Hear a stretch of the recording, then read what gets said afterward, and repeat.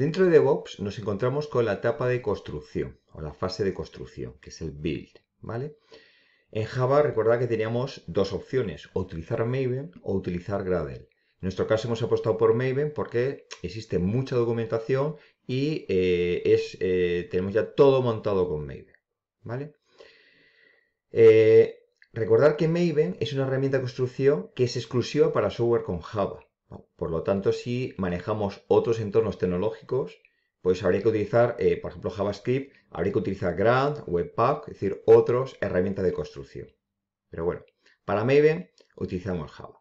¿Qué va a hacer? Eh, nos ayuda a construir los proyectos.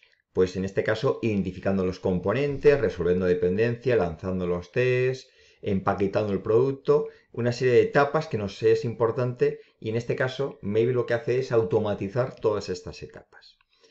Para la configuración de Maven utiliza un fichero que es el POM XML que se sitúa en el raíz del proyecto donde yo voy a configurar cómo quiero construir mi proyecto. Existen tres conceptos fundamentales que tenemos que entender con Maven.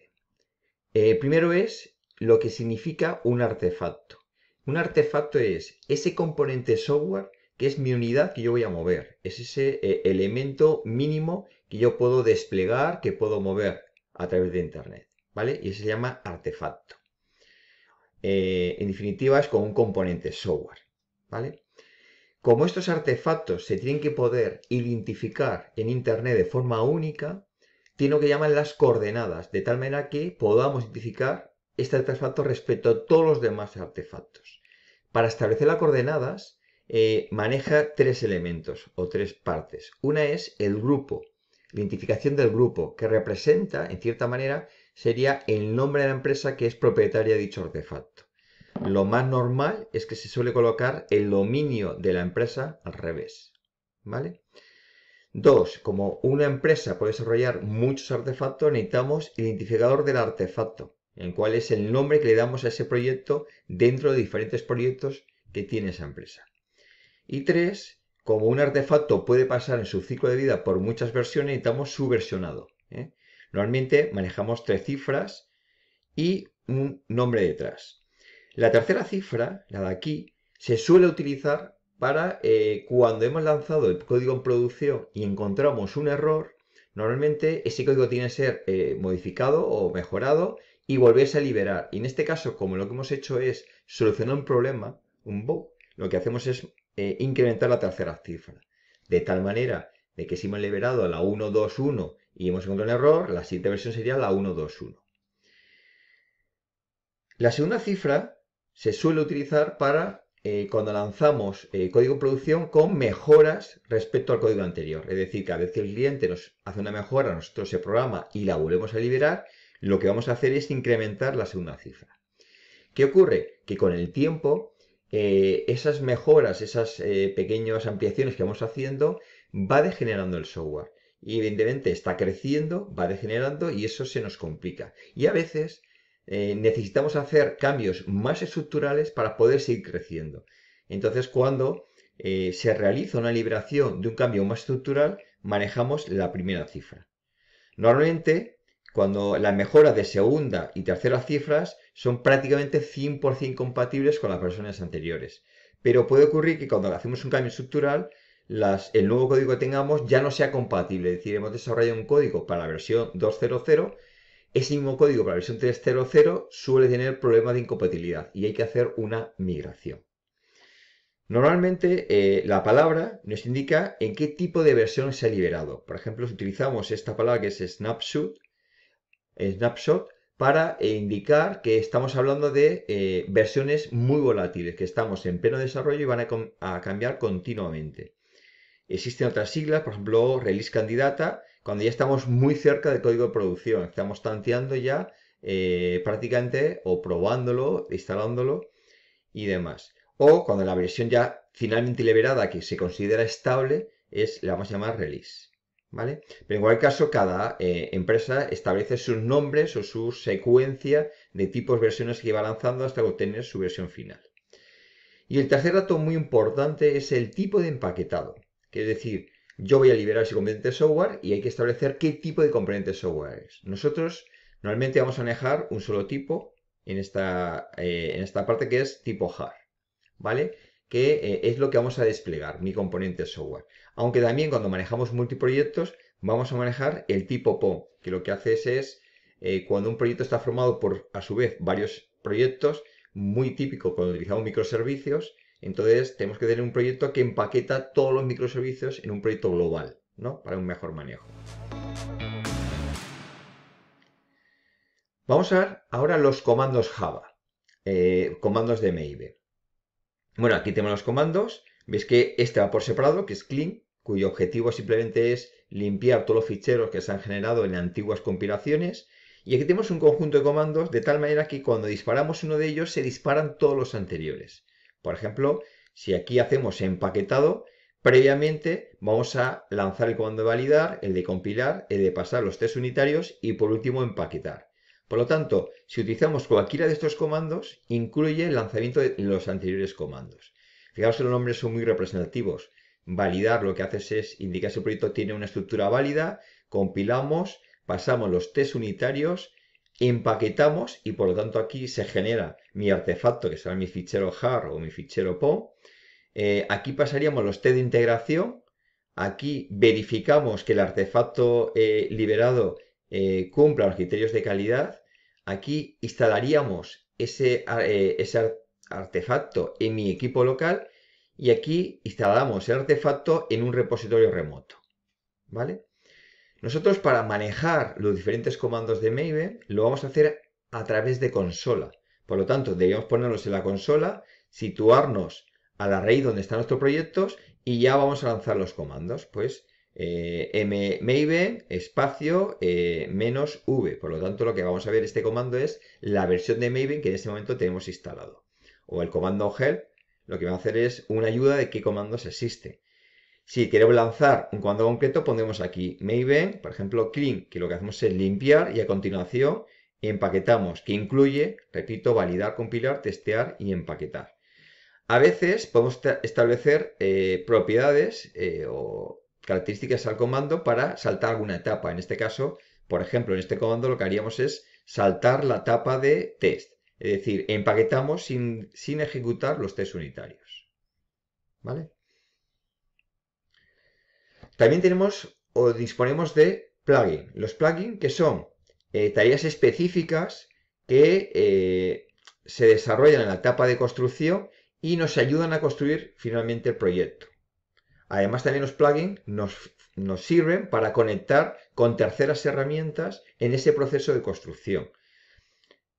Eh, aquí vamos a manejar principalmente tres plugins. este plugin lo que nos ayuda es a calcular la cobertura de los tests. Entonces eh, lo tenemos metido en el POM para que cada vez que lancemos eh, el comando en Maven se me calcule, digamos, lo que es la cobertura y podemos hacer un informe de cómo es dicha cobertura. O por ejemplo, cuando hagamos, conectemos con código de análisis estático, eh, con este plugin de Sonar me conectaría con el servidor de Sonar para que Sonar hiciera un análisis estático del código fuente que tengo en mi, en mi código. O eh, este otro plugin cuyo objetivo sería eh, lanzar una aplicación basada en el framework de Spring Boot. ¿Vale? En definitiva, para utilizarlo es muy similar a un comando. ¿no? Veis que pondríamos Maven y pondríamos aquí el nombre del plugin. Entonces ya se dispararía ese plugin. Por ejemplo, aquí este plugin, en lugar de hacerlo por nivel de comando, lo hemos hecho metiéndolo en el POM para que se dispare siempre cada vez que lanzamos cualquier comando de, de Maven.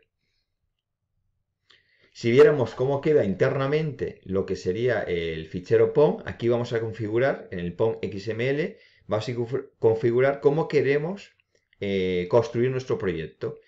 Fijaros que aquí, eh, bueno, siempre empieza igual, el fichero XML, y eh, de momento lo vamos a concentrar en definir exclusivamente las coordenadas. El resto no lo vamos a tocar. Yo voy a dar un POM que está bien construido y lo que vamos a hacer, o como mucho vais a hacer de momento, es cambiar esas coordenadas. Es decir, indicar cómo queréis llamar a vuestro artefacto, cuál es vuestro grupo, qué versión vais a manejar y en este caso, bueno, pues qué empaquetado vamos a finalizar.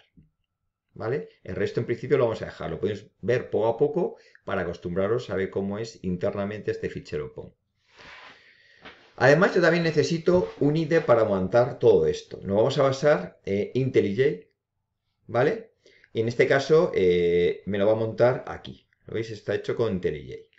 Eh, la estructura de un fichero de un proyecto Java cuando trabajamos con Maven debe ser una muy concreta. Y es decir, tenemos una carpeta src donde tiene dos subcarpetas. La carpeta main y la carpeta test. En main que vamos a meter todo el código y en el test todos los tests. A su vez, ambas carpetas se, se dividen en dos más. Una que es Java, donde estaría el código fuente Java y en esta carpeta vamos a meter aquellos recursos que son ficheros complementarios que me ayudan a, la aplicación. Pues típicamente el fichero de propiedades que me va a configurar la aplicación cuando arranque. ¿Vale? A su vez tenemos la carpeta de Java que vamos a alocar todos los tests, que debe tener una estructura igual a, la carpeta de fuentes de Java eh, asociada. ¿Vale? A su vez también podemos tener ficheros de ficheros complementarios que no son de Java, que son de o propiedades o de YAML o de TXT, que me ayudan a montar lo que es el conjunto de test. Para facilitar su uso, eh, en lugar de tener que hacer una instalación de Maven, hemos metido en nuestro proyecto un Maven embebido. Y aquí viene, por eso viene esta carpeta, que es del Maven embebido, más esta carpeta que son para lanzar los comandos Maven. Si queréis utilizar el Maven embebido y así nos ahorramos la instalación de Maven, lo único que hay que hacer es que lancemos un comando y en lugar de utilizar mvn vamos a utilizar mvnw. Por lo demás es totalmente compatible. Y en ese momento lanzamos el Maven embebido. ¿Vale? Para que esto vaya bien, eh, en nuestro equipo tenemos que tener instalado estas dos variables de entorno. La que es Java Home, que apunta a raíz del JK que tengamos instalado, y el path. En nuestro caso nos vamos a apoyar en JDK11 o en el OpenJDK11, por lo tanto si manejáis otro tenemos que instalar el 11, ¿vale? Y aquí, aunque no es necesario que lo hagáis, es si en lugar de utilizar el Maven embebido queréis un Maven externo, digamos, al proyecto. Entonces simplemente bajaríamos el zip, lo, descomprimimos y habría que establecer estas dos variables de entorno. ¿Vale? Bueno, se me olvidaba, eh, veis que este punto y día es donde el entorno de desarrollo de IntelliJ eh, me va a configurar todo su, proyecto. ¿Vale? Eh, ¿Cómo vamos a crear los proyectos nosotros? En definitiva, os voy, a, dar una plantilla, la tenéis en esta ruta, ¿vale? En Docs tenéis una plantilla. ¿Qué vamos a hacer? Pues lo más rápido va a hacer que os bajéis esta plantilla que es un zip lo descomprimís en vuestra eh, zona de trabajo, en vuestro, workspace y una vez descomprimido, eh, editamos, eh, le ponéis en la carpeta como queráis y editamos el fichero PON y ponéis el nombre del artefacto que queréis vosotros. No dejar el estándar, porque si no van a entrar en conflicto, sino descomprimirlo, definís una carpeta vosotros y ahí ponéis o editáis el fichero PON para establecer el nombre que queráis. Y a partir de ahí, desde IntelliJ eh, lo vamos a importar como fichero tipo Maven, y así ya lo metemos como un proyecto. Vemos que Maven también soporta lo que llamaríamos los multimódulos. En, definitiva es, si tenemos que manejar microservicios, cada microservicio sería un proyecto. Bueno, pues Maven me ayuda montando un proyecto global que digamos que incluye todos los subproyectos, de tal manera que yo tenga una visión global de todo y lo pueda manejar mejor, porque a la hora de probar microservicios, evidentemente habría que instalar todos los microservicios previamente en tu máquina para poderlos funcionar. Y en este caso, me ayudaría la construcción, Maven es mucho más cómoda. Esta semana todavía es un poco precipitado, lo haremos más adelante, en otras, en otras etapas del, del máster, pero para que ya os suene que Maven sí es capaz de manejar multimódulos. Y eh, hay un par de aspectos de dónde guardan los repositorios. Eh, la primera vez que eh, importéis un proyecto Maven, se va a bajar todas las dependencias. Tened un poco de paciencia porque es posible que se tire 30, 40 segundos bajando por internet todas las dependencias y lo instale en tu máquina local. La carpeta que lo vas a instalar es esta de aquí, es en la ruta de tu cuenta de usuario barra .m2 barra repositorio. En esta ruta él va a instalar todas las dependencias. A veces ha podido ocurrir que queda alguna dependencia corrupta, entonces lo mejor es, si hay errores raros o no acaba de reconocer una dependencia, yo a veces lo he solucionado borrando esta, esta carpeta y entonces Maven automáticamente recarga todas las dependencias y el problema se soluciona. Pero bueno, Repito que es un caso extraño. También Maven es capaz de manejar perfiles. Nosotros en lugar de los perfiles de Maven lo vamos a trabajar a través de Spring.